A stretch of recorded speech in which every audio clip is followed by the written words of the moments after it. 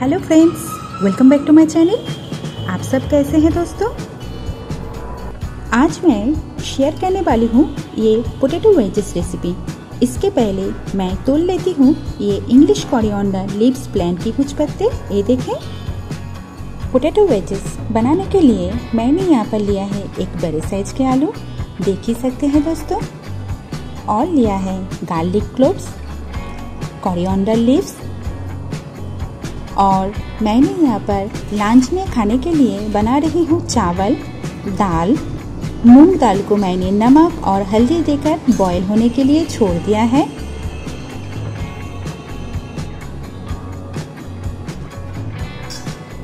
और यहाँ पर चिकन करी मैंने पहले से ही तैयार करके रखी हूँ। सबसे पहले पोटैटो को दो टुकड़ों में काट लेते हैं। छिलका समेत और फिर एक हिस्से को मिडिल की तरफ़ से काट लेते हैं। लंबे लंबे करके काटना है दोस्तों।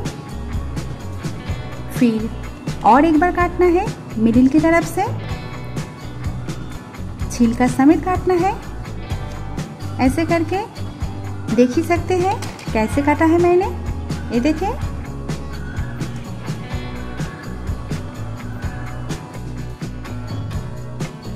आलू को लंबे लंबे करके काट लिया है। अब हम इस आलू को एक बाउल में तोलकर अच्छे से वॉश कर लेते हैं। वॉश करना हो गई है, देख ही सकते हैं।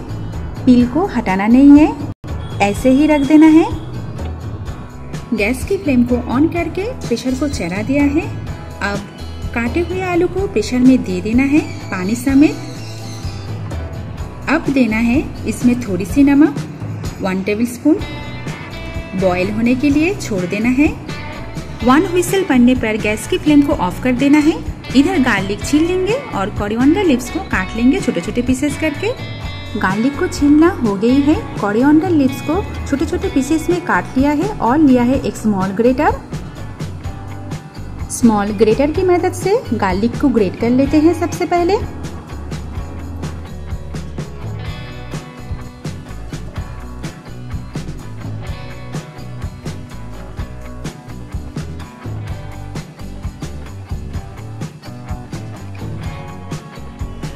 गार्लिक को ग्रेट करना हो गई है। अब मैंने लिया है एक बोल और लिया है एक विस्क एक बैटर बनाना है। बैटर बनाने के लिए मैंने लिया है फोर टेबल स्पून मैदा टू टेबल स्पून चावल की आटा। अब इसमें दे देना है ग्रेट किया हुआ गार्लिक और चॉप्ड कोरिएंडर लीव्स अब देना है cornflour two tablespoon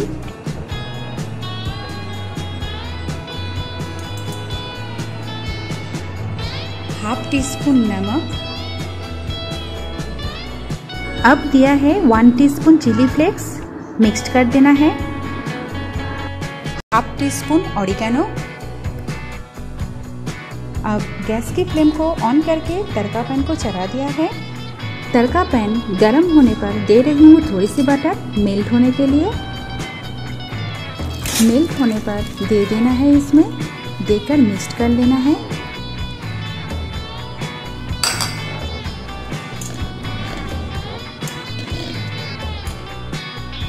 मिक्स्ड कर लिया है।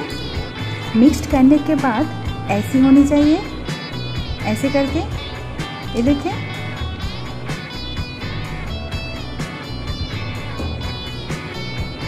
अब थोड़ी थोड़ी करके पानी देकर बैटर बनाना है। एक पतला सा बैटर।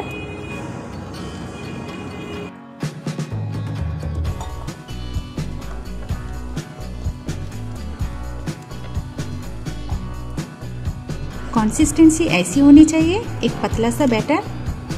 देख ही सकते हैं? ऐसी। दाल गल गई है, इधर आलू भी बॉईल हो गई है। दाल को चढ़ाए हुए गैस की फ्लेम को ऑफ़ कर दिया है। आप आलू को छान लेते हैं, छल्ले की मदद से पानी निकल लेते हैं। इधर चावल भी हो गई है, इसे भी छान लेते हैं।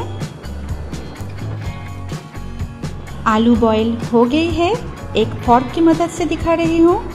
देख ही सकते हैं दोस्तों? थोड़ी सी पानी गर्म होने के लिए छोड़ दिया हूँ और इधर तड़कापन को चढ़ा दिया है। पानी गर्म होने पर दे रही हूँ दाल में और उसी गैस के ऊपर फिर से चढ़ा दिया है दाल को। ये देखें, और इधर पैन भी गर्म हो गई है। पैन गर्म होने पर दे रही हूँ वन टेबल स्पून घी। घी मेल्ट होने पर दे रही हूँ तेजपत्ता, एक लाल सूखी मिर्च, जीरा और एक ग्रीन कार्डामम थोड़ी देर के लिए फ्राई करना है।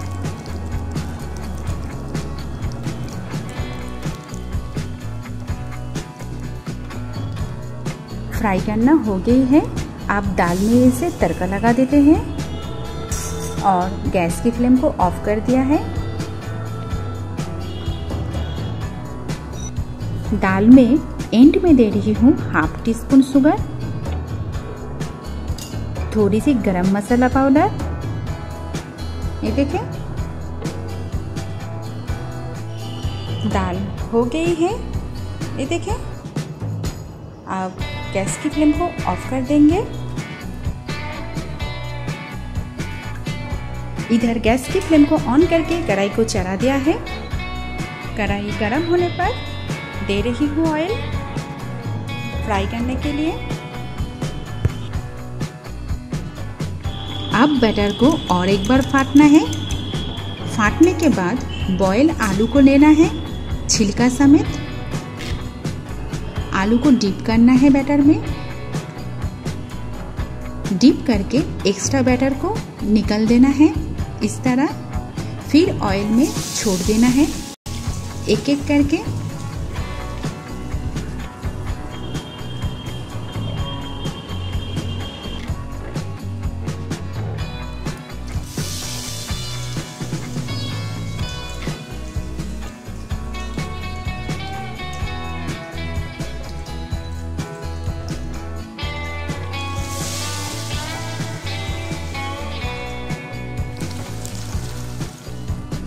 एक साइड हो जाने पर दूसरे साइड को भी फ्राई कर लेना है। लाइट गोल्डन करके।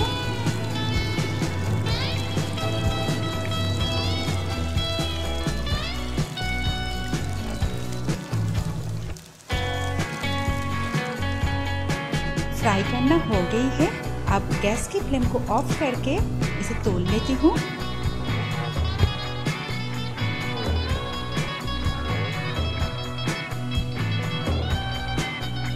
ये देखें crispy and fluffy potato wedges तैयार हो गई है।